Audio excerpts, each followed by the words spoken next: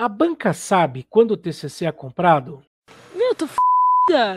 Nossa, meu pai vai me matar. Ixi, Maria, cara. Acho que eu vou. Ixi, meu Deus.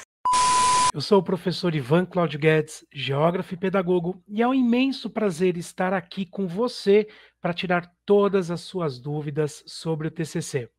Se você está chegando agora no canal do TCC Agora Vai ou no canal do professor Ivan Claudio Guedes, não se esqueça de se inscrever e ativar as notificações para não perder nenhuma orientação de TCC. E é claro, compartilhe com seus amigos. Isso é muito importante para ajudar não só a você, mas também os seus amigos, os seus colegas de turma da faculdade, do curso técnico, da universidade e deixe aí as suas dúvidas. É um imenso prazer poder ajudar. E se precisar de orientação, acesse tccagoravai.com.br. Vai ser um enorme prazer poder ajudar. Marinette diz o seguinte: a banca sabe quando o TCC é comprado? Excelente a sua pergunta, Marinette. Uh, quando a gente está um tempo em sala de aula, quando a gente é, trabalha com isso, a gente lê, né, a gente lê vários autores, a gente conhece os nossos alunos, a gente conhece a escrita dos nossos alunos. Hoje em dia, tem muito software que é anti-plágio, tá? Ah, mas o TCC comprado não é anti, é, não tem plágio. Tudo bem, pode não ter plágio mas a sua escrita, o seu modo de escrever, né? o seu modo de escrever é como o seu modo de falar.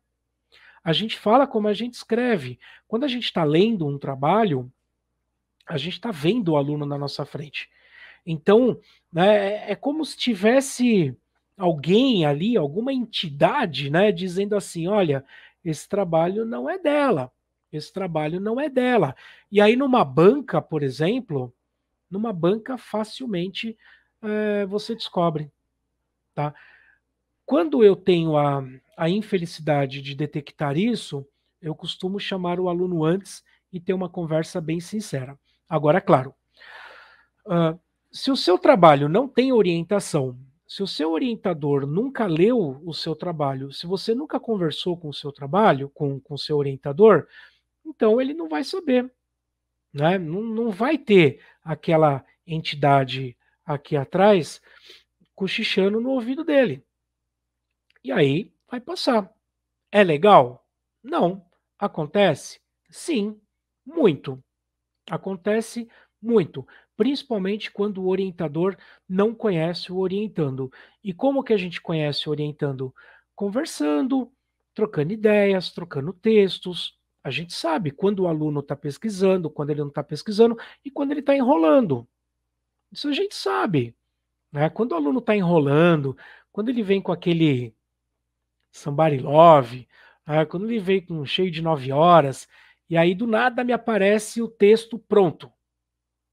Peraí, cara, de onde veio isso? Caiu do céu?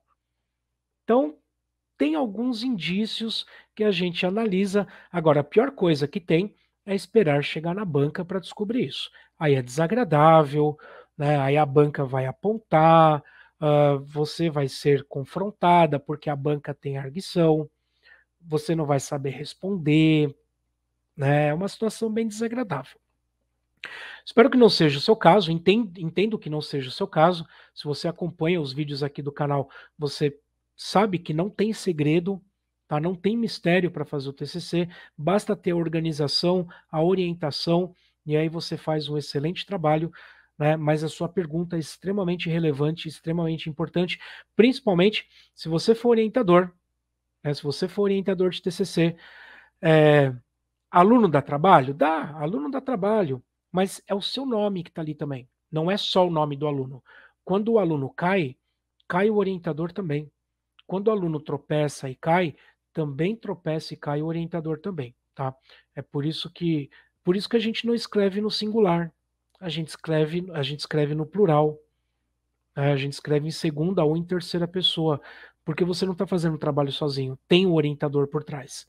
Agora é muito ruim quando não tem o orientador por trás, e aí é onde saem alguns trabalhos que a gente infelizmente conhece.